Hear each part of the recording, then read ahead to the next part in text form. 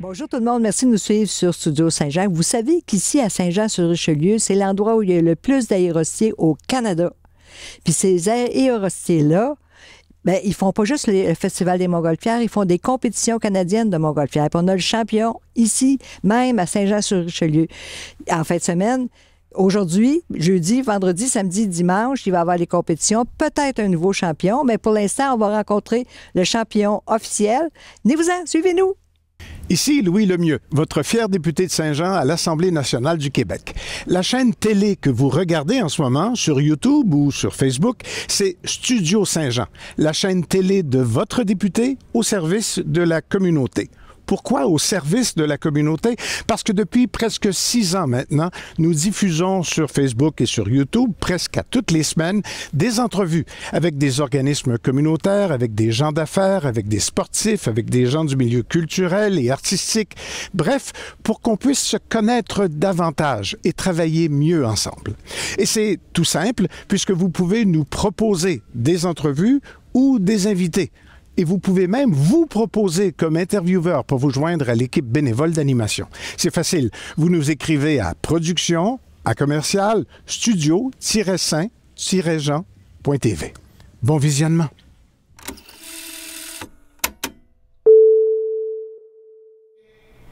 Bonjour Sébastien Poupaz. Bonjour. Champion en titre oui. de Montgolfière.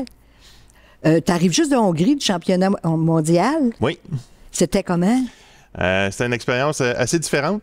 Euh, beaucoup de, on est, on était beaucoup de ballons, on était 120 ballons à participer au championnat du monde. donc 120 ballons en même temps, comparé à ce qu'on peut connaître ici pendant le festival, que maintenant on parle de 50-70 ballons, championnat canadien 10-20 ballons.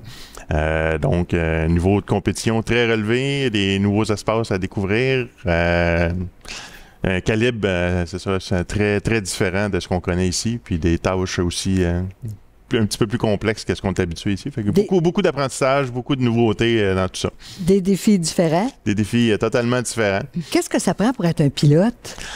Euh, ça prend plusieurs choses. Il faut aimer se lever tôt, première chose. on, est, on suit les, heures du lever et du coucher de soleil. Fait que faut être capable de, de, se lever tôt, de se coucher tard. ensuite de ça, il faut être à la fois quelqu'un qui aime aller vite, mais de façon patiente, parce qu'on dit souvent qu'on va se dépêcher pour aller regarder le gazon pousser dans le champ. On se lève tôt, on regarde notre météo, on s'active, puis finalement on attend, on arrive dans le champ, puis oups, il vente trop, il y a, un facteur X, Y, Z qui nous fait patienter un peu. Fait qu'il faut avoir une balance un peu des deux, euh, savoir quand, quand s'activer, quand être patient. Puis après ça, ben en vol, être capable d'être quelqu'un de très euh, très flexible, très, très facile à s'ajuster parce qu'on n'est pas comme un avion, un hélicoptère qui dit ben, moi je vais aller à gauche, je vais aller à droite, on suit des trajets précis. En ballon, on suit les, on suit les vents, on, joue avec les vents, les différentes hauteurs, puis là, ben, on essaie de s'orienter vers quelque part euh, de propice pour un atterrissage ou des tâches, etc. Donc, euh, c'est quelque chose de complètement différent par rapport à ce qui est récent en aéronautique. Fait qu'il faut être assez flexible assez, euh, assez ouvert à différentes opportunités qui s'ouvrent à nous finalement quand on est en cours de vol parce que le plan A, B, C peut changer puis devenir le DEF en cours de route euh, parce que ça marche plus. Le vent change d'orientation. Mais ce qui m'a surpris moi, dans les montgolfières, c'est la technologie qui est à l'intérieur. Oui, ça a beaucoup évolué, veut, veut pas avec l'électronique, encore plus quand on est en championnat. Euh, on a euh, maintenant des logiciels qui nous donnent, on rentre les vents, les prévisions de vent avant. Fait autant la météo, les prévisions de météo ont évolué au niveau technologique, ben on prend toutes ces données-là, puis on, on planifie notre vol avec ça. Fait qu'on vole avec un ordinateur, des tablettes, des, des, appareils pour enregistrer le vol qu'on appelle des loggers en compétition. Euh, donc, il y a énormément de technologie maintenant qui est, qui est impliquée dans tout ça. Vous avez des ballons différents pour euh, les compétitions? Pour les compétitions, dans le fond, la plupart des gens, on peut utiliser un ballon normal, euh, le, ballon moyen que les gens ont. cependant, quand on va aller plus loin en compétition, ils vont, on va s'équiper ce qu'on appelle des racers. Fait que le ballon a une forme plus élancée, plus haute, moins, plus étroite. Et ça, ça permet à ce moment-là d'atteindre des vitesses de montée et de descente qui sont plus importantes. Euh, un ballon régulier, là, à 800, 1000, 1100 pieds minute, on est pas mal dans les capacités maximum du, euh, du ballon. Un racer va aller à 1500, 1800, 2000 pieds minute de montée et de descente euh, pour les mêmes conditions. Là. Wow, c'est quelque chose, ça. Ça monte vite. Ça va vite. Attention ça va aux oiseaux. vous avez plusieurs défis toutes sortes de défis. J'ai même vu la vitesse, celui qui se rend le plus rapidement euh, le vent est le même pourtant. Le van même, dans le fond, il va y avoir euh, il y a une vingtaine de sortes de tâches différentes qui varient entre le classique X au sol où on va porter une, euh, poche de riz le plus proche du possible du centre, qu'on lâche soit en lançant, soit en laissant tomber tout simplement par gravité, si le directeur de vol veut donner plus de défis dans, le- dans notre précision de pilotage, euh, jusqu'à, oui, des formes dans, dans le ciel en 3D, avec, on parlait de l'électronique tantôt, Oui, oui, donc oui. l'électronique va permettre de faire des choses virtuellement dans le ciel en 3D. Et euh, ça peut être aussi, oui, effectivement, des moments où on dit, bon, ben, cette zone-là de vol, elle s'ouvre, ou cette zone-là de marquage au sol va ouvrir entre telle et telle période, ou euh, ça va s'alterner au sol. Fait que là, il faut se dépêcher de se rendre à tel endroit, il faut se dépêcher de, faut être là au bon moment. d'exécuter Puis se rendre à, à- au- à la deuxième. Exactement, se rendre exécuter puis de déposer au bon endroit parce que des fois, ben, la zone de gauche va être ouverte à une heure, la, la zone de droite va être ouverte à une autre heure, puis là, ben, si tu n'arrives pas au bon moment, au bon endroit, ben, ça vient complètement. Tu as complètement manqué la tâche, là. fait que ça peut être euh, assez complexe. hein. Ça prend beaucoup de précision. Ça prend énormément de précision, puis comme je disais tantôt, on joue avec quelque chose qui n'est pas précis, le vent, fait que ça prend beaucoup d'habilité, puis un petit peu de chance aussi en même temps pour être capable d'a- d'avoir les bons vents au bon moment pour euh, réussir correctement. C'est tout un défi. Si on veut vous suivre, si on veut voir ce que vous faites, où est-ce qu'on on fait ça? Euh, ben, il y a la page Facebook du championnat canadien qui, a, euh, qui, a de- qui va avoir un système de tracking. là, de- donc, on avoir des petits appareils à bord où les ballons vont émettre la position. Donc, on va voir la position des, euh, des ballons en vol. Euh, on devrait voir, là, je, je présume qu'on devrait voir aussi les cibles euh, pour voir euh, comment les ballons passent bien ou pas sur la cible. Oui, oui, oui. Euh, puis il va y avoir, ben, c'est sur la page Facebook, naturellement, il va y avoir des photos, il va y avoir des choses qui vont animer là, dans le courant de la fin de semaine. là. Puis si on peut savoir quels sont vos défis, ben oui, parce que ça se déroule cette fin de semaine-ci. Ça devait commencer aujourd'hui, la journée de pluie, jeudi le 26. Oui, ben, il y avait un vol de pratique cédulé hier, pas, pas, de- pas les conditions météo pour le faire. Le premier vol officiel était ce matin, donc annulé pour la pluie. Là, le- ça se dégage, il vente encore un peu, mais on va voir euh, comment ça se déroule pour la suite. On devrait avoir quelques jours là, de beau temps devant nous pour euh, Oui, bien, oui. bien faire ça. Parce qu'on m'a dit que vous décolliez même si le vent est fort. On va, en, en compétition, on va repousser un petit peu plus les limites. On est là pour se démarquer. Euh, Il n'y a pas aucun vol de passagers commerciaux. Tu veux, pas, si on embarque des gens qui sont un peu néophytes, ben on va limiter un peu les, les conditions pour des, questions, des raisons de sécurité qui sont évidentes. Quand on arrive en compétition, on est tous des gens habitués.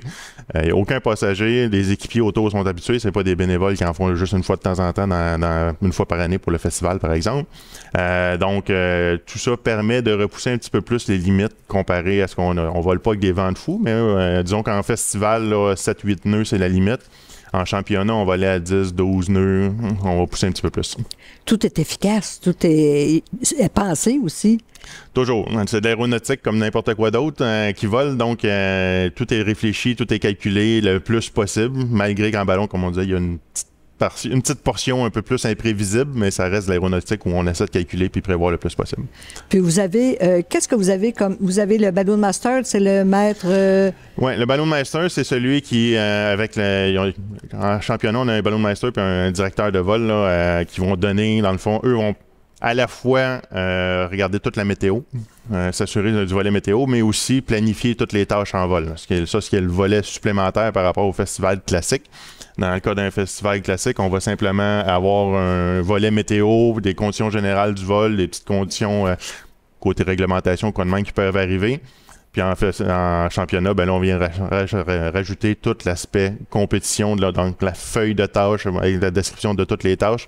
Ben, toute cette planification supplémentaire-là a été faite dans les heures préalables au vol, selon les conditions météo environnementes, essayer de mettre des tâches qui sont complexes à atteindre, mais quand même réalisables, parce que si les vents s'en vont par là, on veut pas mettre une tâche dans une direction impossible. Donc, euh, donc un petit peu plus de travail. C'est un travail qui est partagé à ce moment-là entre le directeur de, sécurité puis le, le puis on est justement à l'endroit où vous vous réunissez Oui, pour savoir s'il y a un décollage ou s'il n'y en a pas. c'est ça. Vous faites ça le matin, je pense à 5h30 le matin? 5h45 le matin, c'est un briefing d'environ 20 minutes, une demi-heure, puis encore euh, la même chose à 15h l'après-midi. Donc, euh, la, la période de vol est de euh, 6h30 le matin à 9h, si ma mémoire est bonne, puis euh, de 15h30. C'est un peu tôt, là, honnêtement, ça, ça va être rare qu'on va être dans les airs à 15h30, à moins, à moins d'avoir des conditions vraiment parfaites. Euh, jusqu'à, jusqu'au coucher de soleil, là, qui est autour de 18h30, 18h40. Vous dormez pas beaucoup pendant cette période-là? Euh, c'est moins pire à cette période-ci. Euh, quand c'est au milieu de l'été, euh, il y a une petite sieste dans, le- dans le milieu de la journée qui est nécessaire. À cette période-ci, c'est presque les heures normales quand je vais travailler, fait que c'est pas si mal, mais c'est sûr qu'on essaie quand même d'avoir une petite sieste dans le milieu de journée pour se reposer. là. Puis le matin, quand les ballons tombent dans la rosée, qu'est-ce que vous faites pour les sécher? Est-ce que c'est important? Euh, L'humidité sur un ballon, c'est quelque chose qu'il faut faire extrêmement attention parce que si on- ça reste renfermé, ça reste euh, comme n'importe si on laisse du linge dans la laveuse, il va finir par moisir là. Euh, fait que le ballon a un peu le même problème. Fait que si on sait qu'on revole euh, le, le soir même, le lendemain, dans un, dans un espace de 24-48 heures, on va voler à nouveau, ben, le ballon va se faire aérer, va se faire chauffer, il va sécher, il va être correct. Si euh, on range un ballon qui est très mouillé le matin, puis on sait que là, ben, il y a de la pluie qui s'en vient ou les conditions de vent ou peu importe sont, seront pas favorables, ben, nécessairement, il va falloir le ressortir le plus rapidement possible. Soit tout de suite après le vol, aller se trouver un endroit sec puis le faire sécher euh, juste simplement au ventilateur, ou dès que la pluie va être passée, le ressortir puis le faire aérer pour éviter que la moisissure se mette dedans. là. Bien, je vous souhaite bonne chance pour ce championnat-là, Merci parce que votre titre est en jeu. Mon titre est en jeu. On va voir. euh, ça s'est bien passé la dernière fois. C'était une surprise. On va voir si ça va être euh, aussi bien cette fois-ci ou s'il y a quand même plusieurs gens d'un très bon calibre qui sont dans, dans le championnat. Fait que le- ça devrait être un championnat assez relevé. Puis on, on va s'amuser dans tout ça. Bien, on dit merde. Ben, merci. Ben, c'est c'est tout pour nous. Ben, surtout, suivez-nous, puis suivez-les sur Facebook. Euh, vous savez qu'au Québec, on est, les, on est la région où il y a le plus d'aérostiers. À la prochaine. Ici Lucie Crevier.